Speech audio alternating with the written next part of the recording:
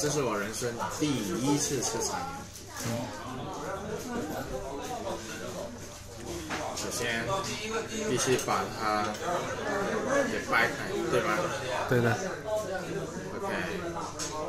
然后呢，必须用筷子把它的内脏给拿掉，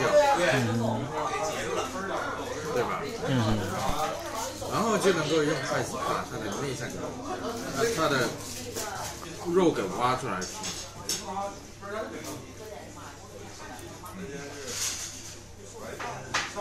嗯，好恶心。不过在镜头面前就必须认真的吃下去。